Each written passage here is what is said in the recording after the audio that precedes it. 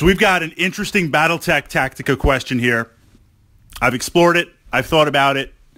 I'm going to push out my response, and then I'm going to turn it over to you guys in the comments and uh, see what we can do. And I believe this question from my blog was coming in on the Game of Armored Combat set. Fantastic starter set. Amazing maps, amazing mechs. But it's not really clear. We have battle value. We have a few ideas. But how do you begin to put together what's fair or what's possible in Battletech. If, if you want to go in that direction, maybe you want to play a hopeless game with a hopeless narrative, survive at all costs. A, a lot of great ways to explore the Battletech universe. But I think for most of us, on a side note, it is battle value, maybe even tonnage. So the question was, can a light mech ever defeat a heavy mech? So my first thought on this, let's assume one-on-one for, for whatever reason. Here we are, right? One-on-one. There is, when you move to light to medium, medium to heavy, heavy to assault, there is this kind of area in terms of tonnage where the lines are blurred a little bit. I mean, the tech manuals have it as an even split, but there's some high-end light mechs that uh, tonnage in terms of armament that could possibly go toe to toe and, and stand a good chance of winning against one of the lower end, lower spectrum medium mechs on there. You know, perfect example would be the Jenner. But as soon as you're one weight class above, I, I just find it impossible. I've never seen it using conventional methods.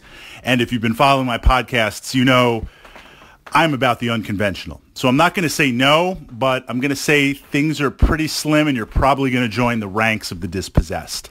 Here, here's the challenge. Not only, I mean, at first glance, the obvious thing is armor bubbles. Look at um, one of the light mech sheets compared to a heavy mech. We're not even going to go into assault. We're looking at heavy.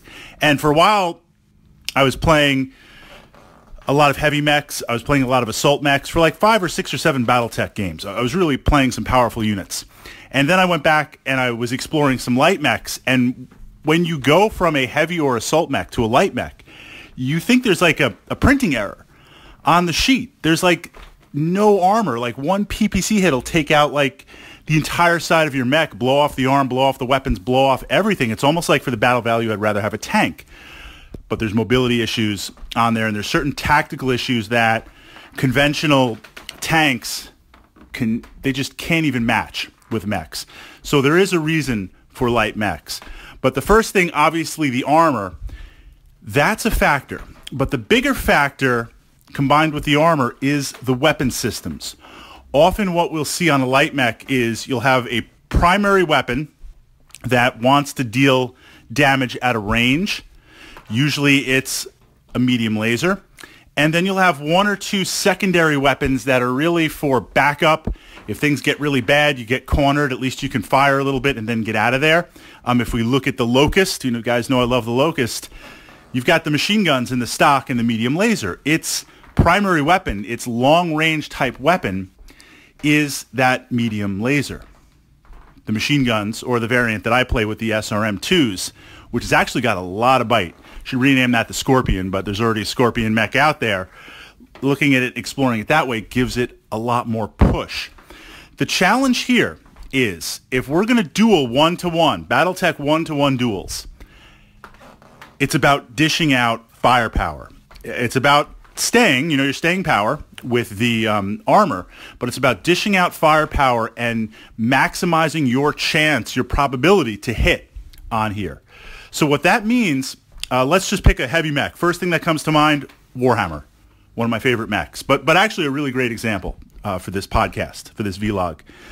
The Warhammer is going to shoot you with PPCs. Let's just say for maximum heat management, they're going to shoot at one PPC at you at a turn. They're not going to chain link and fire two. They're going to shoot that one PPC.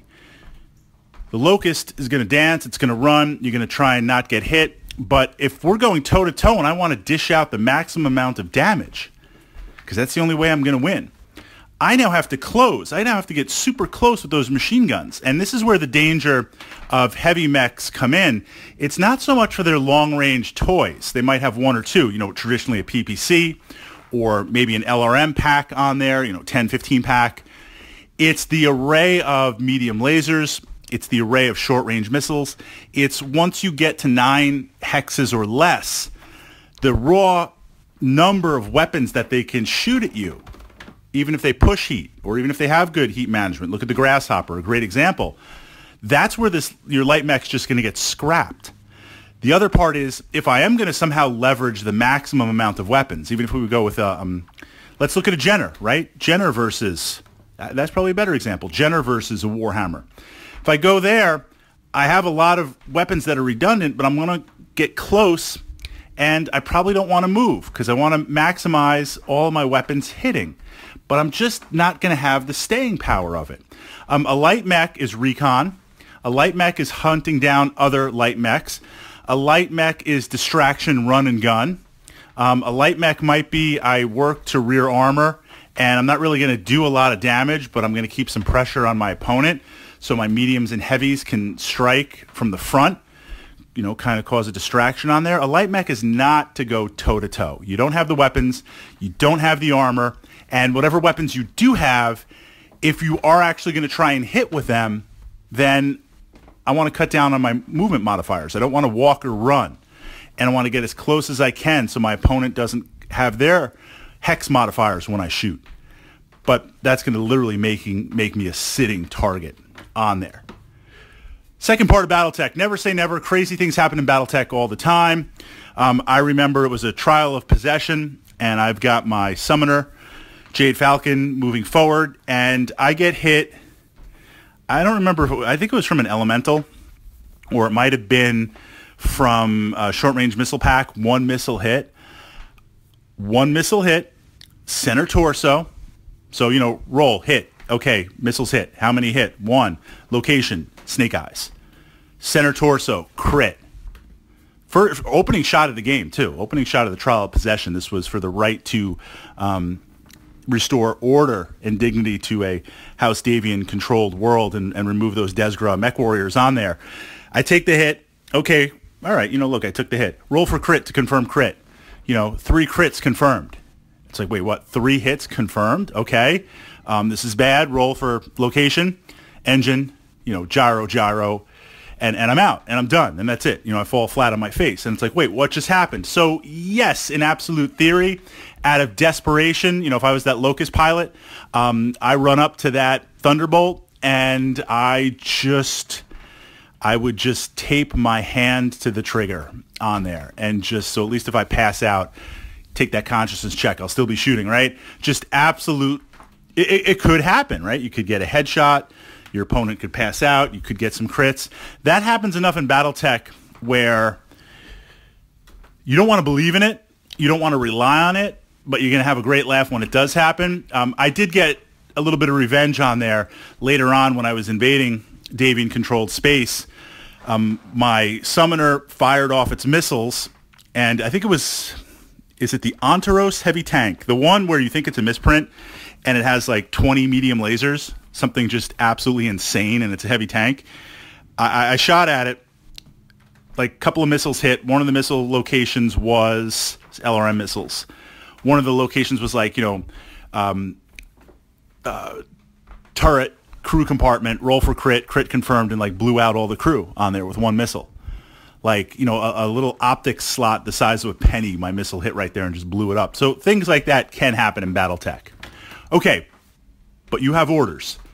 Orders are orders. You're in that light mech, and you got to do what you have to do to get up there. How do we do it? How do we do it? How do we make it happen? And then I'll turn it over to you guys. Um, the only way I see it is really physical attacks. I mean, you could try to run up. You could play the initiative game. You could try to run up, keep running um, based on the speed of your mech trying to stay at distance. And if you win initiative after your opponent moves, you could try to run behind them and get rear armor. I mean, you could, right? Shoot, shoot, kick, punch. I might not kick because I'd be afraid of falling down on there. But eventually you're going to lose initiative. And literally in one turn being that close, or even if you're somewhat away, you're going to get scrapped on there. The only real way I see it, although you could hit with the punch, one in six chance, the only way I really see it, honestly, death from above. and, and I've, I've done it only once. Um, a spider jumped up and he took out a Zeus, Davion Zeus on there, landed on the head, crunched it, took some leg damage, was messed up. Um, rinse and repeat on another mech, hit that, didn't take it out, but landed and ripped both my legs off. So now I'm on the ground just rolling around trying to shoot my medium lasers on there. That's the only way I see it. And that's a big what if, and you're not getting away without damage. And literally you have one shot with many, many modifiers. You got to get the initiative. You got to not get blasted out of the sky. You got to actually hit the death from above. A lot of what ifs. Um, then you got to roll pretty confidently on that chart and try to smash that head off. But it is possible. That, that's the only real way I see it. Just massive suicide running up there. Not even a charge attack. I don't think the charge attack could generate the initiative to do it. Your thoughts. I'm going to turn that over to the comments. For whatever reason, strange things happen in Battletech. You got to make it happen. Um, a light versus a heavy or a medium versus an assault.